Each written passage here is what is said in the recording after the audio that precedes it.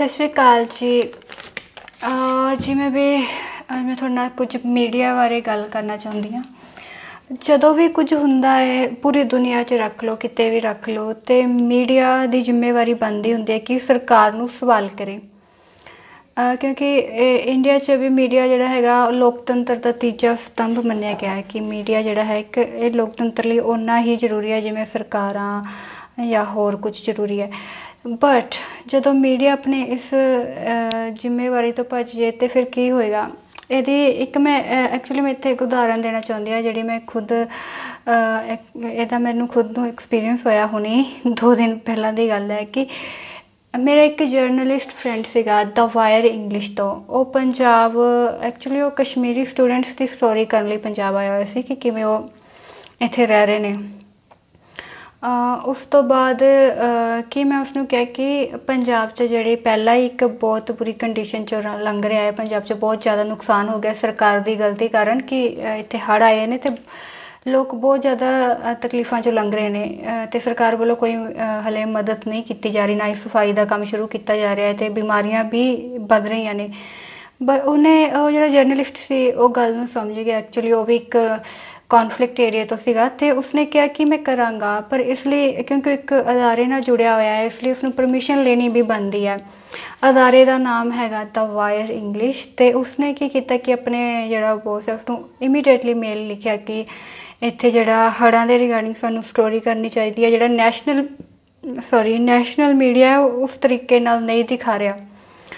ਤੇ ਉਸਨੇ ਜਿਹੜਾ ਉਸਦਾ ਹੈਡ ਸੀਗਾ, ਉਸ ਮੀਡੀਆ ਪੋਰਟਰ ਦਾ, ਮੈਨੂੰ ਉਹਦੇ, ਉਹਦਾ ਜਵਾਬ ਸੁਣ ਕੇ ਮੈਂ ਦੰਗ ਰਹਿ ਗਈ ਜਦੋਂ ਉਸਨੇ ਇਹ ਕਿਹਾ ਕਿ sorry not for us we are not interested ਤੁਸੀਂ ਦੇਖਿਆ ਹੋਵੇਗਾ ਦਾ ਵਾਇਰ ਦਾ ਤੁਸੀਂ ਚੈੱਕ ਕਰੋ ਤਾਂ ਕਸ਼ਮੀਰ ਬਾਰੇ ਬਹੁਤ ਖੁੱਲ ਕੇ ਲਿਖਦਾ ਹੈ। ਬੋਲਦਾ ਵੀ ਹੈ, ਹੋਰ ਵੀ ਬੀਜੇਪੀ ਖਿਲਾਫ ਜਾਂ ਗਊ ਹੱਤਿਆ ਕੁਝ ਵੀ ਹੈ ਉਸ ਦੇ ਖਿਲਾਫ ਬਹੁਤ ਖੁੱਲ ਕੇ ਲਿਖਦਾ ਹੈ ਤੇ ਮੈਨੂੰ ਇਸ ਅਦਾਰੇ ਤੋਂ ਇਹ ਬਿਲਕੁਲ ਇਹ ਆਸ ਨਹੀਂ ਸੀਗੀ ਕਿ ਉਹ ਵੀ ਇਸ ਤਰ੍ਹਾਂ ਦਾ ਜਵਾਬ ਦੇਣਗੇ। ਤੇ ਮਤਲਬ ਕਿ ਤੁਸੀਂ ਸੋਚ ਲਓ ਕਿ ਛੋਟਾ, ਵੱਡਾ ਕੋਈ ਵੀ ਅਦਾਰਾ ਮੀਡੀਆ ਦਾ, ਉਹ ਸਾਰਿਆਂ ਦੀ ਜੜ੍ਹਾਂ ਉੱਥੇ ਹੀ ਜਾ ਕੇ ਮਿਲਦੀਆਂ ਨੇ। ਤੁਹਾਨੂੰ ਕਿਸੇ ਤਰੀਕੇ ਨਾਲ ਤੁਹਾਨੂੰ ਨਹੀਂ ਦਿਖਾਉਣਗੇ। ਜਿੱਥੇ ਤੁਹਾਡਾ ਧੱਕਾ ਹੋ ਰਿਹਾ, ਤੁਹਾਨੂੰ ਨਹੀਂ ਦਿਖਾਉਣਗੇ। ਹਾਂ ਆਈ ਮੀਨ ਤੁਹਾਨੂੰ ਵਰਤ ਲੈਣਗੇ ਪਰ ਤੁਹਾਨੂੰ ਦਿਖਾਣ, ਦਿਖਾਣਗੇ ਨਹੀਂ ਕਦੇ ਵੀ ਕਿ ਤੁਹਾਡੇ ਨਾਲ ਇੱਥੇ ਇਹ ਧੱਕਾ ਹੋਇਆ ਹੈ। ਇਹੀ ਕੰਮ ਕੀਤਾ ਦਾ ਵਾਇਰ ਨੇ। ਮੈਨੂੰ, ਮੈਂ ਪਹਿਲਾਂ ਬੜਾ, ਮੈਂ ਇਹਨਾਂ ਨੂੰ ਫੋਲੋ ਕਰਦੀ ਸੀ ਤੇ ਇਹਨਾਂ ਦਾ ਹਰ ਇੱਕ ਵੀਡੀਓ ਵੀ ਦੇਖਦੀ ਸੀ, ਇਹਨਾਂ ਦੀ ਸਾਰੀ ਨਿਊਜ਼ ਵੀ ਰੀਡ ਕਰਦੀ ਸੀ ਬਟ ਨਹੀਂ, ਇਹ ਲੋਕ ਵੀ, ਠੀਕ ਹੈ, ਮੈਂ ਇਹ ਨਹੀਂ ਕਹਿੰਦੀ ਕਿ ਤੁਸੀਂ ਕਸ਼ਮੀਰ ਬਾਰੇ ਨਾ ਬੋਲੋ ਬੋਲੋ, ਜਿੱਥੇ ਜ਼ੁਲਮ ਹੁੰਦਾ ਉੱਥੇ ਬੋਲੋ ਬਟ ਕਿਉਂ ਤੁਸੀਂ ਇੱਕ ਤਬਕੇ ਪ੍ਰਤੀ ਆ ਕੇ ਚੁੱਪ ਕਰ ਜਾਂਦੇ ਹੋ?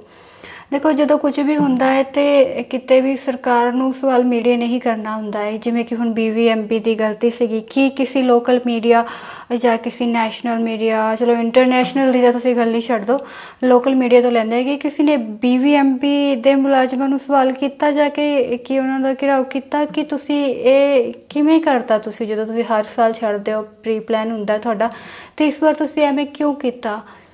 ਬਟ ਨੋ ਆਪਾਂ ਨਹੀਂ ਇਹੋ ਜਿਹਾ ਕਰਦੇ ਹੈਗੇ ਕਿਉਂਕਿ ਮੀਡੀਆ ਚੁੱਪ ਬੈਠ ਜਾਂਦਾ ਹੈ। ਠੀਕ ਹੈ, ਸਾਡੇ ਕੋਲ ਉਨੀ ਪਾਵਰ ਨਹੀਂ ਹੈ ਹਲੇ ਸਿੱਖਾਂ ਕੋਲ। ਕੋਈ ਮੀਡੀਆ ਐਸਟੈਬਲਿਸ਼ ਮੀਡੀਆ ਨਹੀਂ ਹੈ। ਬਟ ਫਿਰ ਵੀ ਜਿੰਨਾ ਕਰ ਸਕਦੇ ਆਪਾਂ ਨੂੰ ਕਰਨਾ ਚਾਹੀਦਾ ਹੈ। ਤੇ ਇਹ ਸੀਗਾ ਦਾ ਵਾਇਰ ਦੀ ਗੱਲ। ਆਪਾਂ ਗੱਲ ਕਰਦੇ ਹਾਂ ਮੀਡੀਆ ਦੀ ਤੇ ਮੀਡੀਆ ਜਿਹੜਾ ਹੁੰਦਾ ਦੋ, ਇਹ ਦੋ ਥਿਊਰੀਆਂ ਤੇ ਕੰਮ ਕਰਦਾ ਹੈ। ਸੈਟਿੰਗ ਏਜੰਡਾ ਥਿਊਰੀ ਤੇ ਸੈਕਿੰਡ ਹੁੰਦੀ ਹੈ ਇਹਨਾਂ ਦੀ ਮੈਜਿਕ ਵਰਲਡ ਥਿਊਰੀ ਜਿਹੜੀ ਸੈਟਿੰਗ ਏਜੰਡਾ ਥਿਊਰੀ ਹੁੰਦੀ ਹੈ ਸੈਟਿੰਗ ਏਜੰਡਾ ਮਤਲਬ ਜੋ ਵੀ ਇਹਨਾਂ ਦਾ ਹੁੰਦਾ ਹੈ ਉਹਦੇ ਚ ਹੁੰਦਾ ਕਿ ਇਹ ਜਨਤਾ ਨੂੰ ਸੋਚਣ ਤੇ ਲਗਾ ਸਕਦੇ ਆ ਮਤਲਬ ਜਿਹੜਾ ਸਾਨੂੰ ਸੋਚਣ ਦਾ ਮਟੀਰੀਅਲ ਹੈ ਸਾਨੂੰ ਅਹ, ਮਸਲੇ ਮਸਲਿਆਂ ਤੇ ਜਿਹੜਾ ਵਿਚਾਰ ਕਰਨ ਦਾ ਮਟੀਰੀਅਲ ਹੈ ਉਹ ਮੀਡੀਆ ਪ੍ਰੋਵਾਈਡ ਕਰੇਗਾ। ਮਤਲਬ ਅਸੀਂ ਖੁਦ ਨਹੀਂ ਸੋਚਾਂਗੇ ਉਹ ਮੀਡੀਆ ਸਾਡੇ ਜ਼ਿਹਨ 'ਚ ਪਾਏਗਾ। ਇਹ ਹੋ ਵੀ ਰਿਹਾ ਹੈ ਕਿਉਂਕਿ ਤੁਸੀਂ ਦੇਖ ਸਕਦੇ ਹੋ ਇੰਡੀਆ 'ਚ ਹਿੰਦੂ ਮੁਸਲਿਮ ਗਊ ਹੱਤਿਆ, ਇਹੋ ਜਿਹੇ, ਮਤਲਬ ਇਹੋ ਜਿਹੇ ਮਸਲਿਆਂ 'ਚ ਜਿਹੜੀ ਮੈਜੋਰਟੀ ਇਹਨਾਂ ਨੂੰ ਉਲਝਾ ਕੇ ਰੱਖਿਆ ਹੁੰਦਾ ਕਿਉਂਕਿ ਤੁਹਾਨੂੰ ਜਿਹੜੇ ਮਸਲੇ ਹੈ, ਉਹ ਮੀਡੀਆ ਦਿੰਦਾ ਹੈ। ਜਿਹੜੀ ਸੈਕੰਡ ਥਿਊਰੀ ਇਹਨਾਂ ਦੀ ਮੈਜਿਕ ਵਰਲਡ ਥਿਊਰੀ ਉਹ ਬੜੀ ਘਾਤਕ ਥਿਊਰੀ ਇਸ ਤੇ ਹੁੰਦਾ ਹੈ ਕਿ ਉਹ ਇੱਕ ਇੰਜੈਕਸ਼ਨ ਦੀ ਤਰ੍ਹਾਂ ਕੰਮ ਕਰਦੀ ਹੈ ਕਿ ਆਈ ਮੀਨ ਥੋੜਾ ਪੂਰਾ ਕੰਟਰੋਲ ਹੀ ਮੀਡੀਆ ਕੋਲ ਹੁੰਦਾ ਹੈ, ਤੁਸੀਂ ਸੋਚਣਾ ਵੀ ਉਸ ਦੇ ਅਕੋਰਡਿੰਗ ਹੈ। ਇਹ ਵੀ ਹੋ ਰਿਹਾ ਹੈ, ਮਤਲਬ ਇਹ, ਇੱਥੋਂ ਤੋਂ ਤੁਸੀਂ ਇਹ ਨਾ ਸੋਚੋ ਕਿ ਅਗਰ ਤੁਹਾਡੇ 10% ਲੋਕਾਂ ਨੂੰ ਪਤਾ ਹੈ ਤਾਂ ਤੁਸੀਂ ਜਿੱਤ ਗਏ ਹੋ, ਕਿਉਂਕਿ ਮੈਜੋਰਟੀ ਮੀਡੀਆ ਤੇ ਹੀ ਬਿਲੀਵ ਕਰਦੀ ਹੈ ਤੇ ਮੀਡੀਆ ਕਿਵੇਂ ਨਚਾ ਰਿਹਾ ਤੁਹਾਨੂੰ ਪਤਾ ਹੈ। ਇਹਦੀ ਐਗਜ਼ਾਮਪਲ ਆਪਾਂ ਇੱਕ ਲੈਂਦੇ ਆ ਸੈਟਿੰਗ ਏਜੰਟ ਦੀ। ਜਿਵੇਂ ਹੁਣ, ਇਹਦੇ 'ਚ ਕੀ ਹੁੰਦਾ ਹੈ ਕਿ ਕਿਸੇ ਨਿਊਜ਼ ਦੀ ਤੀਬਰਤਾ ਨੂੰ ਇਹ ਘਟਾ ਦਿੰਦੇ ਆ। ਕੋਈ ਵੱਡਾ ਮਸਲਾ ਲੈ ਕਿ ਮੈਂ ਪੰਜਾਬ ਸੀਗਾ, ਇੱਕ ਸਰਕਾਰ ਦੀ ਗਲਤੀ ਸੀਗੀ ਇੱਥੇ, ਇੱਕ ਮੇਜਰ ਇਸ਼ੂ ਸੀ ਬਟ ਇਸ ਨੂੰ ਕਿਵੇਂ ਇਸ ਇਸ ਨਿਊਜ਼ ਦੀ ਤੀਬਰਤਾ ਨੂੰ ਘਟਾਇਆ ਗਿਆ, ਇਹ ਆਪਾਂ ਦੇਖਦੇ ਹਾਂ। ਇਹ ਕੀ ਕਰਦੇ ਆ ਕਿ ਉਸ ਨੂੰ ਜਿਹੜੀ 100 100 ਨਿਊਜ਼ ਵਾਲਾ ਇੱਕ ਸੈਕਸ਼ਨ ਹੁੰਦਾ, ਜੋ ਮਿੰਟ ਤੇ ਰਿਪੀਟ ਤੇ ਚੱਲਦੇ ਆ, ਮਿੰਟ ਤੇ 100 100 ਨਿਊਜ਼ ਦਿਖਾ ਦਿੰਦੇ ਉਹਦੇ ਵਿੱਚ ਪਾ ਦਿੰਦੇ ਆ, ਫਲਾਨੀ ਜਗ੍ਹਾ ਫਲੱਡ ਆਇਆ, ਇੰਨਾ ਨੁਕਸਾਨ ਹੋਇਆ, ਬਸ ਇਸ ਤੋਂ ਜ਼ਿਆਦਾ ਕੁਝ ਨਹੀਂ। ਤੇ ਜੇ ਇਹਦੀ ਇੱਕ ਤਰ੍ਹਾਂ ਇਸ ਜਿਹੜੇ ਮੇਜਰ ਨਿਊਜ਼ ਸੀਗੀ, ਇਹਦੀ ਤੀਬਰਤਾ ਘਟ ਗਈ ਕਿ ਲੋਕਾਂ ਦਾ ਧਿਆਨ ਹਟ ਗਿਆ ਕਿ ਹਾਂ, ਇਹੋ ਜਿਹਾ ਕੁਝ ਵੀ ਹੈ। ਬਟ ਇਦਾਂ ਅਗਰ ਤੁਸੀਂ ਦਿਖਾਓ ਕਿ ਉੱਥੇ ਪਹਿਲਾਂ ਇਦਾਂ ਹੁੰਦਾ ਸੀ ਬੀਬੀਐਮਬੀ ਨੇ ਹੁਣ ਐਵੇਂ ਪਾਣੀ ਛੱਡਿਆ ਹੈ ਤੇ ਇਹ ਕਿਵੇਂ ਇੱਕ ਖਾਸ ਤਬਕੇ ਦਾ ਨੁਕਸਾਨ ਕੀਤਾ ਹੈ ਪ੍ਰੀ ਪਲਾਨ ਕੀਤਾ ਸੀ ਜਾਂ ਜਿਵੇਂ ਗਲਤੀ ਸੀ, ਜੋ ਵੀ ਆ, ਤੁਸੀਂ ਕੁਝ ਵੀ ਨਹੀਂ ਦਿਖਾਇਆ। ਇਸ ਨਾ ਹੀ ਲੋਕਲ ਮੀਡੀਆ ਨੇ ਕੁਝ ਤੇ ਅਖਬਾਰਾਂ ਵਾਲੇ ਵੀ ਇਵੇਂ ਕਰਦੇ ਆ। ਉਹ ਉਹ ਕੀ ਕਰਦੇ ਆ ਕਿ ਇਹੋ ਜਿਹੀ ਨਿਊਜ਼ ਨੂੰ ਪੰਜਵੇਂ, ਛੇਵੇਂ ਪੇਜ ਤੇ ਲਿਆ ਕੇ ਛਾਪ ਦਿੰਦੇ ਆ। ਜਦੋਂ ਕਿ ਜਿਹੜੀ ਜਿਹੜੀ ਨਿਊਜ਼ ਤੇ ਉਹਨਾਂ ਨੇ ਲੋਕਾਂ ਦਾ ਧਿਆਨ ਲੈਣਾ ਹੁੰਦਾ, ਉਹ ਮੋਟਾ-ਮੋਟਾ ਕਰਕੇ ਮੂਰੇ ਲਿਖ ਦਿੰਦੇ ਜਿਹੜੀ ਬੇਕਾਰ ਕਿ ਹਾਂ, ਅਰੁਣ ਜੇਟਲੀ ਮਰ ਗਿਆ ਫਲਾ ਮਰ ਗਿਆ, ਤੇ ਮਰ ਗਿਆ ਮਰ ਗਿਆ ਸੀ ਉਹ ਤੋਂ ਕੀ ਲੈਣਾ? ਜੋ ਦੇਸ਼ 'ਚ ਚੱਲ ਰਿਹਾ ਹੈ ਤੁਸੀਂ ਉਸ ਚੀਜ਼ ਨੂੰ ਲੋਕਾਂ ਦਾ ਧਿਆਨ ਹਟਾਉਣ ਵਾਸਤੇ ਇਹੋ ਜਿਹੇ ਟ੍ਰਿਕ ਯੂਜ਼ ਕਰਦੇ ਹੋ। ਠੀਕ, ਇਸੇ ਤਰ੍ਹਾਂ ਆਪਾਂ ਇੱਕ ਐਗਜ਼ਾਮਪਲ ਲੈਂਦੇ ਆ ਰਵੰਡਾ ਦੀ, ਰਵੰਡਾ ਹੋਇਆ ਸੀਗਾ, ਤੁਹਾਨੂੰ ਯਾਦ ਹੋਗਾ 1994 ਵਿੱਚ ਇੱਕ ਜੈਨੋਸਾਈਡ ਹੋਇਆ ਸੀ, ਜਿਸ ਵਿੱਚ 100 ਦਿਨਾਂ ਵਿੱਚ 8 ਲੱਖ ਬੰਦਿਆਂ ਨੂੰ ਮਾਰ ਦਿੱਤਾ ਗਿਆ ਸੀਗਾ। ਇਹਦੇ ਵਿੱਚ ਮੀਡੀਆ ਦਾ ਬਹੁਤ ਬੜਾ ਰੋਲ ਸੀ ਉੱਥੋਂ ਦੇ ਅਫਰੀਕਾ ਵਿੱਚ, ਕਿਉਂਕਿ ਇਹ ਇੱਕ ਮੈਜੋਰਟੀ ਤੇ ਮਾਈਨੋਰਟੀ ਦੇ ਵਿਚਕਾਰ ਸੀਗਾ ਸੇਮ ਕਿ ਜਦੋਂ ਖਤਰਾ, ਇੱਕ ਦੂਜੇ ਤੋਂ ਖਤਰਾ ਮਹਿਸੂਸ ਹੋਣ ਲੱਗ ਜਾਏ ਮਾਈਨੋਰਟੀ ਤੋਂ ਖਾਸ ਕਰ ਹੁੱਤੂਸ ਤੇ ਤੁਤਸੀ ਵਿੱਚ, ਹੁਤੂਸੀ ਜੋ ਮੈਜੋਰਟੀ ਸੀਗੇ ਤੇ ਤੁਤਸੀ ਸੀਗੇ ਮਾਈਨੋਰਟੀ ਵਿੱਚ, ਤੇ ਇਹਨਾਂ ਨੂੰ ਮੀਡੀਆ ਨੇ ਜਿਵੇਂ ਅੱਜ ਅੱਜਕੱਲ ਮੀਡੀਆ ਕਰ ਰਿਹਾ, ਤੁਸੀਂ ਦੇਖੋ ਮੁਸਲਮਾਨਾਂ ਨੂੰ ਕਿਵੇਂ ਟਾਰਗੇਟ ਕੀਤਾ ਜਾਂਦਾ ਹੈ, ਅੱਤਵਾਦੀ ਹੈ ਜਾਂ ਸਿੱਖਾਂ ਨੂੰ ਵੀ ਮਾਈਨੋਰਟੀ ਨੂੰ ਹਮੇ ਹਰ ਇੱਕ ਤਰ੍ਹਾਂ ਦੀ ਮਾਈਨੋਰਟੀ ਨੂੰ ਟਾਰਗੇਟ ਕੀਤਾ ਜਾਂਦਾ ਖਾਸ ਕਰ ਪਹਿਲੇ ਨੰਬਰ ਤੇ ਮੁਸਲਿਮ ਤੇ ਦੂਜੇ ਨੰਬਰ ਤੇ ਆਉਂਦੇ ਆ ਸਿੱਖ।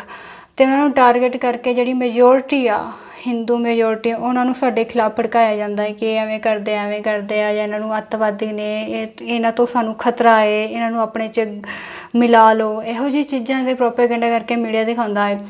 ਉਸ ਠੀਕ ਉਸੇ ਤਰ੍ਹਾਂ ਰਵੰਡਾ 'ਚ ਹੋਇਆ ਸੀਗਾ, ਜਿਸ ਜਿਸ ਦਾ ਨਤੀਜਾ ਇਹ ਸੀਗਾ ਕਿ 8 ਲੱਖ ਲੋਕਾਂ ਦਾ ਕਤਲੇਆਮ ਹੋਇਆ ਸੀਗਾ ਤੇ ਜੇ ਆਪਾਂ ਕਹਿ ਕਹਦੇ ਕਿ ਸਰਕਾਰਾਂ ਇੱਕ ਜੈਨੋਸਾਈਡ ਲਈ ਜ਼ਿੰਮੇਵਾਰ ਹੁੰਦੀਆਂ ਨੇ, ਨਹੀਂ, ਕੱਲੀਆਂ ਸਰਕਾਰਾਂ ਹੀ ਨਹੀਂ ਮੀਡੀਆ ਵੀ ਉਹਨਾਂ ਹੀ ਜ਼ਿੰਮੇਵਾਰ ਹੁੰਦਾ ਹੈ। ਇਹੋ ਜਿਹੇ ਕੰਮਾਂ ਲਈ। ਖਾਸ ਕਰ ਐਕਚੁਅਲੀ ਮੀਡੀਆ ਨੇ ਸੱਚ ਦਿਖਾਣਾ ਹੁੰਦਾ ਤੇ ਮੀਡੀਆ ਸਾਨੂੰ ਮੈਨੂਪਲੇਟ ਕਰਦਾ ਹੈ, ਜੋ ਅੱਜ ਕੱਲ ਹੋ ਰਿਹਾ ਹੈ। ਤੇ ਮੈਨੂੰ ਕੱਲ ਤੁਸੀਂ ਬਿਲੀਵ ਨਹੀਂ ਕਰੋਗੇ, ਮੈਨੂੰ ਇੰਨਾ ਸੋਚ ਕੇ ਉਹ ਝਟਕਾ ਲੱਗਾ ਕਿ ਇਹੋ ਜਿਹਾ ਪੋਰਟਲ ਵੀ ਇਹੋ ਜਿਹੀ ਗੱਲ ਕਰ ਸਕਦਾ ਹੈ। ਜਦੋਂ ਕਿ ਹੋਰ ਕਸ਼ਮੀਰ ਵਾਰ ਤਾਂ ਬਹੁਤ ਖੁੱਲ ਕੇ ਲਿਖਦੇ ਆ, ਉਹ ਤੁਸੀਂ ਵੀ ਚੈੱਕ ਕਰ ਸਕਦੇ ਹੋ। ਮੈਂ ਇਹ ਨਹੀਂ ਕਹਿੰਦੀ ਕਿ ਨਾ ਲਿਖੋ, ਲਿਖਣਾ ਚਾਹੀਦਾ ਹੈ ਬਟ ਹਰ ਇੱਕ ਹਰ ਇੱਕ ਸੱਚ ਤੁਸੀਂ ਦੁਨੀਆ ਅੱਗੇ ਲੈ ਕੇ ਆਓ। ਮਤਲਬ ਇੱਕ ਚੀਜ਼ ਨੂੰ ਲੈ ਕੇ ਨਾ ਚੱਲੋ।